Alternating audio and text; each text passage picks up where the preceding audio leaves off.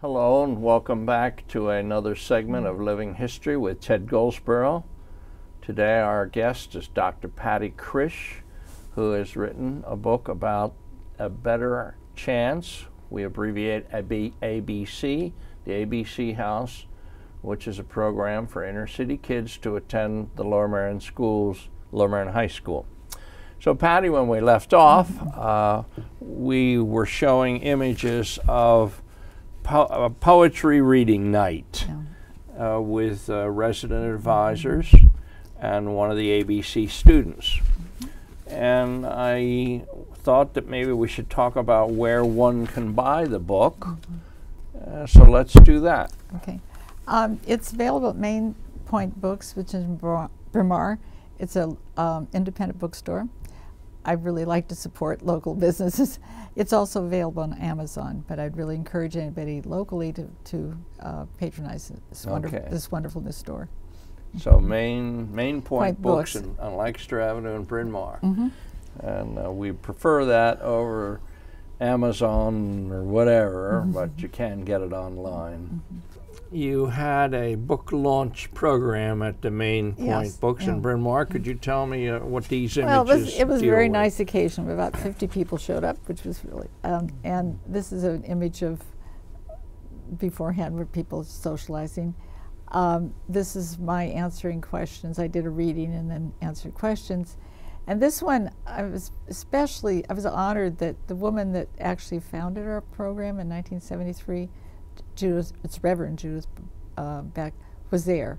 And she got up at p- one point and was talking a little bit about the history about how they raised the money and how, you know, what they had to do to, to start this program. There was a group of quite prominent uh, uh, residents uh, to get, but she was the, the leader apparently Okay. and uh, uh, started. So it started in 1973, Mhm. and they bought this this house on Ardmore Avenue where the the kids and the staff live. Okay. Mhm. Is ABC a national program? Yes, it was started in 1963 um, by 23 headmasters of private uh, boarding schools and independent schools who were interested in in having more diverse um, student body. It was during the civil rights era. The mission statement of the national program is, is our mission is to increase the number of well educated young people of color who are capable of assuming positions of responsibility and leadership in American society. Most of the people who, who are in the program go to either private boarding schools, or the largest number go to uh, private independent schools. Um, so th- the kind of program that we have, there are 21 of them currently, and um, small percentage of the student the students, I think there are 150 in total at one one time on these programs. Uh, Locally, um, some of the school, private schools that have ABC programs are the Shipley School, the Haverford School, Merion Mercy Academy, uh, Friends Central, and Radnor High School. Um, this is where the student would live at home and then commute out to the to that day school. And then, as I said, there's there's kids who are in uh, private boarding school. The national program does not require that that the students all be low income. I mean, some of them are, and they give them scholarships. But it's it's it's really a dual um, purpose to get more people of color into these kinds of positions, and also to to help talented uh, kids from low income. Our program, and I think most of the other what they call community school programs, have a requirement that they be low income. So um, Um, nationally, uh, 14,000 yeah, since 1963. yeah, yeah. That's Okay. the, the national program. Our program has has graduated over 90 since 1973, and almost all of those go on to college. Of the eight boys in in my book, all eight went to four-year colleges. One didn't finish. The other ones finished mostly within um, um, four years. hmm And they got some scholarship help at They- college. Yeah, a lot of yeah. We, we were we put a lot of resources into college prep and helping with the college process. And one of the things we really concerned about is that they don't not graduating with enormous debts. Mhm. And uh, so you know, that's something we, we, we can talk some more about later, but that's that's really very important to us. Um, in our notes, I see that the ABC House is a tax exempt 501c3, Mhm. so people Yeah. making donations Yeah. would get a Mhm. tax Yeah. mhm. exemption for that. Um, we mentioned you mentioned that uh, the house was bought back in 1973, Mhm. and we have some images yeah. about the house. Okay, this is the front of the house. The house was originally a rooming house, so it's it's not elegant inside, but it's spacious and and um, the boys share a be- two bedroom, and they live. There's one roo- bedroom on the first floor, and then the rest of the boys live on the second floor, and then the some of the staff live in the third floor. About 12, 15 years ago, we we built an addition onto the back of the house for staff to live, and it's usually if we have a couple um, um, they lived there. Till recently, there was a couple that was there. The man was there for 10 years, first as a tutor and then um, resident director. And he and his wife had a baby while they were there. So uh, Grace is now four, and they just they just finished. Um, it was Paul Elcock and J.C. Erickson. So um, this this picture has the the the addition on back and then there's the um, there's living room, dining room, s- a study hall, and um, on the first floor, and kitchen. And we have a part-time cook that um, prepares meal. We ha- we have the ki- there's a mandatory dinner at six, as a family group, um, five nights, Monday through Friday.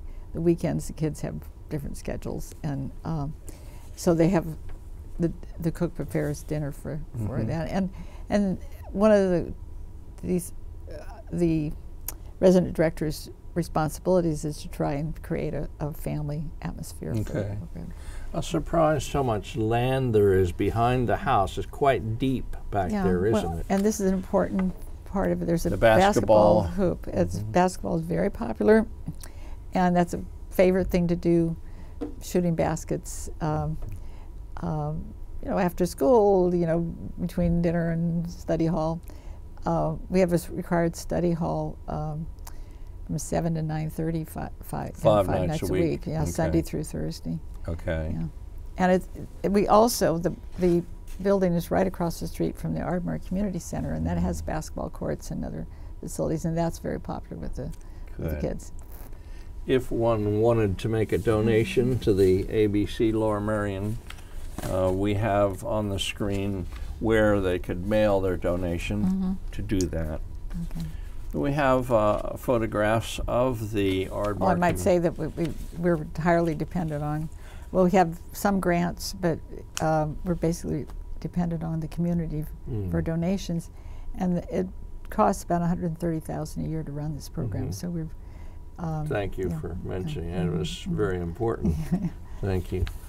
Uh, I put in a picture of the Ardmore Community Mm. Center because that is across the Mhm. street, and uh, it has a swimming pool. I don't know if the boys ever swim there. Well, I- think the pool's open the, mostly during the summer, and they're Yes, not here. they're they not go here, home. They go yes. home in the summer. Okay. This picture i- I like is because this was from the 30th anniversary uh, celebration 12 years ago, and it's it's the kids, some alumni, some board members shooting baskets together, um, and I think it typifies how much interaction it, you know, staff, kids, um, board members have, and it, we really, it's really, we think about it as the ABC family that Mhm, supports mhm. supports uh, the kids. They have an academic advisor, they have a, host parent, and there's board members that are very much involved in the program, and plus, very important, the, the staff.